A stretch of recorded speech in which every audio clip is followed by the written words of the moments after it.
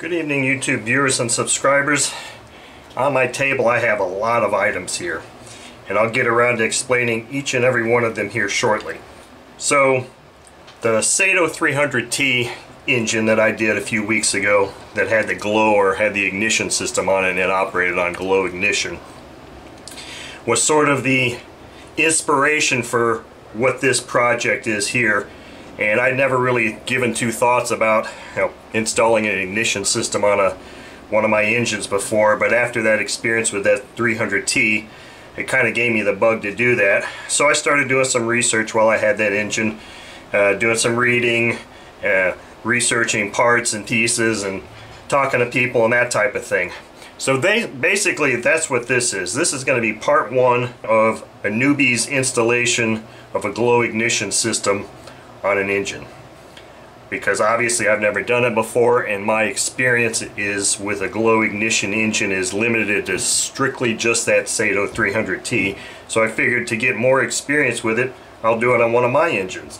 One of the first decisions I had to make was what engine am I going to put it on. I thought about putting it on one of my larger singles or then I also thought about putting it on one of my twins. For whatever reason, I opted to put it on a twin cylinder engine here and I've got my Magnum FT160 engine here prepped and ready to accept uh, these components. But I want to go through, for those of you that have never done this before, just as I have never done it before, I want to go through all of the parts required to do this and then in part two we'll start getting into the actual installation of it. So step one is determine what engine you want to install an ignition system on. I've already done that. I'm going to use my Magnum FT160. So let me just slide this out of the way here and I've got it on my upright because I just did a, a, run of this engine on FAI fuel which I'll explain a little bit further in one of the next upcoming videos as to why I did a run with FAI fuel.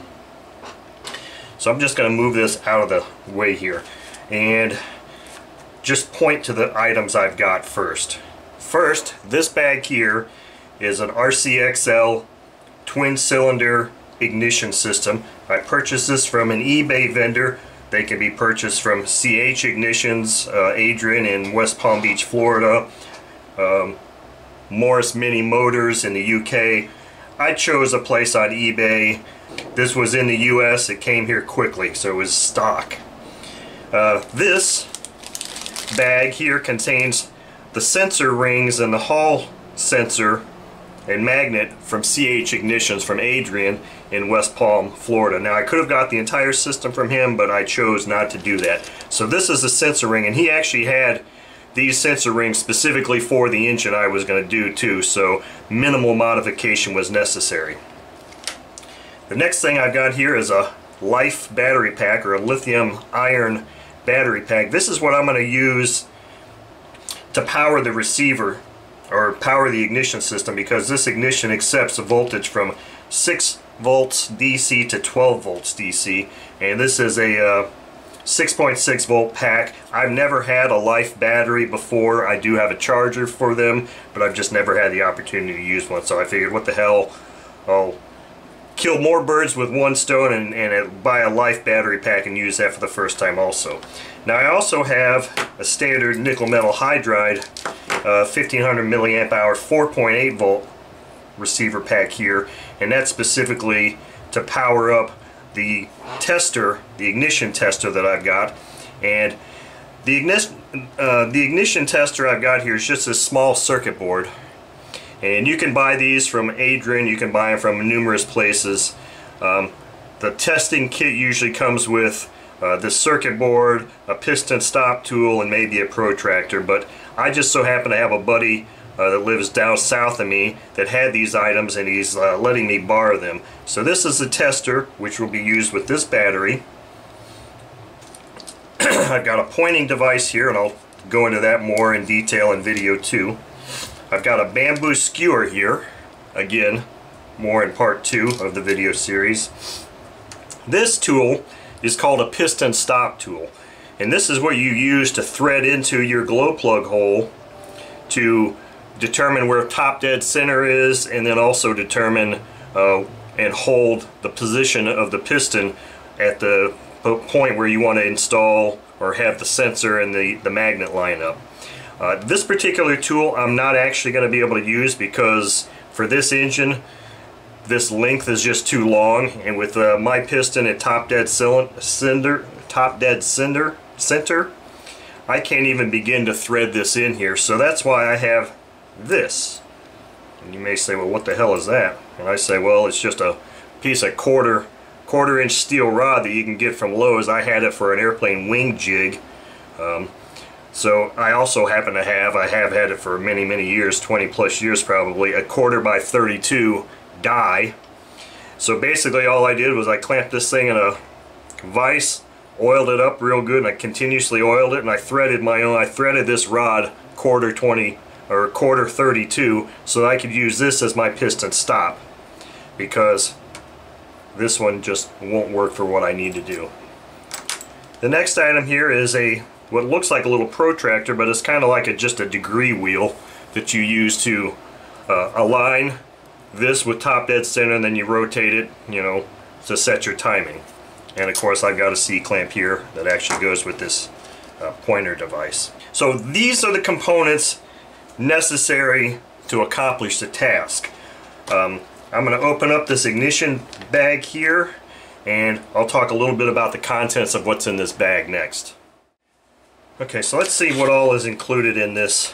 Now, when I ordered this, I knew that the majority, and this isn't the first time I've opened this, but I knew that the majority of the parts that were coming in this, but I did not, damn, did not realize that there was a, a hall sensor included because it really didn't itemize every single thing that was in here. It showed a couple of pictures. It did not show pictures of a hall sensor, but that's really kind of irrelevant because I've got the hall sensor and magnet and the sensor rings from C&H Ignitions from Adrian, so this portion of this kit I won't be using. So the next thing that comes out of here is some wire wrap. And I think, let's just pull all this stuff out here. There's two bags here that have some spare springs for uh, the caps that go onto the spark plugs an RCEXL decal, who cares. So the wire wrap, and it came with another wire here that you can uh, wire up. I think this is used uh, if you're going to, let's see here. Not really sure. I don't have a need for that, but it looks like it's supposed to mate with this, so maybe they're thinking you would solder your battery to this. I'm not really sure. So our ignition system here is an automatic advancing angle ignition. I'm not exactly entirely sure what that means at this moment, but that's what it is. And it has three leads coming off of it. This is the power, how you power it up. This center lead says tachometer on it, so if you have, they sell tachometers that you can plug into this thing and actually have your tach on there too. I don't have that. I probably won't be utilizing that, um, but because I have other forms of tachometers. And then of course this is the plug that your hall sensor plugs into and then under these bubble wrap things are our 90 degree angle uh, spark plug or spark plug caps. So that is the contents of what you get in this RCEXL ignition system. But that isn't all you need because it didn't come with the sensor rings it didn't come with the rings that actually attach to the engine and the hub itself. Um, and that's why I contacted Adrian, did a little research. He has rings pre-made up, and that's why I went ahead and purchased these from him. Because he's done this many times. He's got a website or a YouTube channel where he shows a lot of these engines running, and uh, I just figured that was a good thing to do. So, the next thing I need to explain here is that this is not just a plug and play type of thing. If you buy these rings from Adrian, you are going to have to do some light machining, and I use that word machining very cautiously because I'm not a machinist by any means.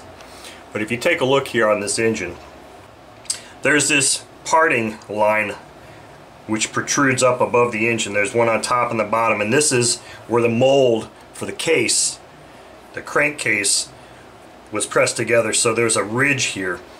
This ridge extends all the way down on both sides and that has to be sanded flush so that this to facilitate the installation of this ring.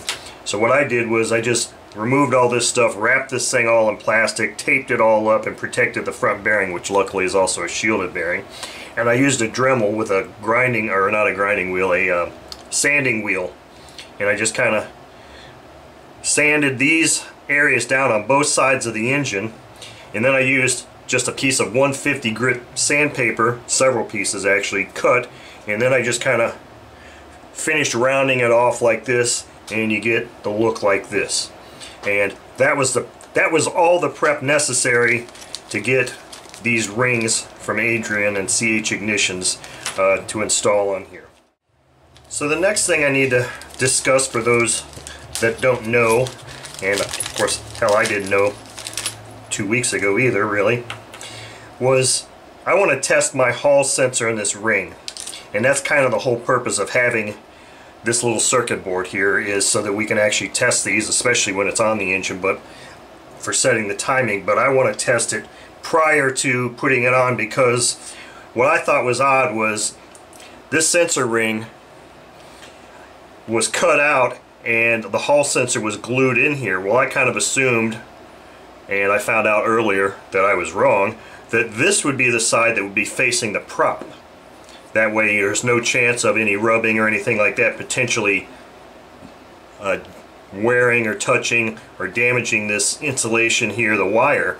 But that's actually not the case at all. The sensor I think is probably right about here.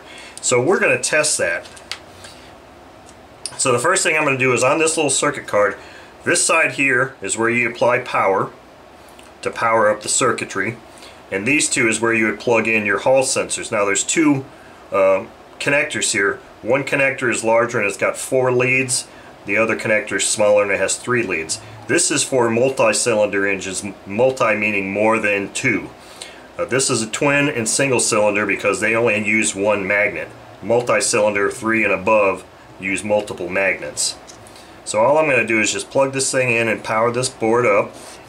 You don't see anything here. You can't tell that it's powered up until you turn the Hall or you get the Hall sensor in proximity to the magnet. I'm trying to lay this so that it doesn't want to flip that board all around, but I'm not really having a whole lot of luck there. Maybe, maybe do that. So these connectors here, I'm going to be plugging into a 3-pin connector and if you just kind of look at the base of this connector, the white wire is the one that goes to the innermost portion. This is polarized. Okay, so right now I'm energizing and now I want to see, this is the magnet. I want to see, test that this works. I kind of wish that would just lay there. There we go. So I'm just going to bring this in proximity and rotate it.